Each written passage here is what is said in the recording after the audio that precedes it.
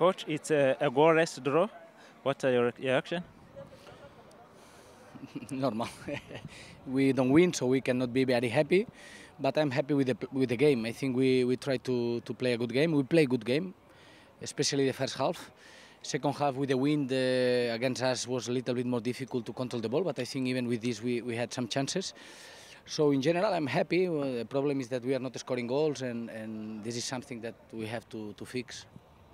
Created some chances, but uh, you didn't score. So how will you change in the coming days?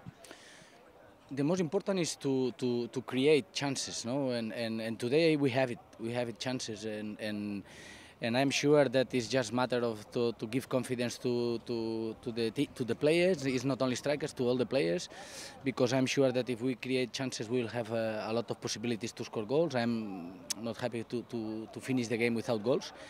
But in general, the game, as I told you, was good, and what we have to do is insist, insist, create chances, and I'm sure we will score. So there are some new players like uh, striker Gerard and uh, uh, Gren. So how have you seen them? Well, they start to play in the second half in the probably in the worst moment that we are playing in the because the first 15 minutes from second half was not very good and then they change the game they start to to to have some some some chances they create two three chances and but we need to score a goal because uh, we are in general both of them are strikers also and they need the goal the strikers need the goal the team need the goal and, and the coach need the goal but in general i'm happy we play good game it's just matter to to try to to score these chances because today we create chances to score goal.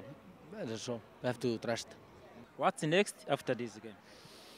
So after this game, to follow the plan, we have another game, and we have to, to keep the trainings and to prepare the next the next game, and uh, and that's all. Is is no just to prepare the other game. We we don't win, but we don't lose, so we cannot say something wrong in this, no. But for sure we wanted to win, but the next, well, the next is prepare the next game. This is simple question.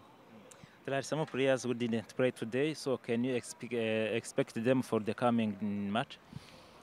Yes, probably we will make some rotations. Uh, today we, we had agreement that uh, that we can use only six uh, changes, and also Guinea had the same situation than us. Some players who who just come without some documents and with, with, with the passport finalized and we had the same situation and this is why we both teams we couldn't use some players today only two and uh, and that's all for the next match for sure. We will do rotations because as I say before these matches should help us to win the, the finals against Benin. And, and I'm happy about the game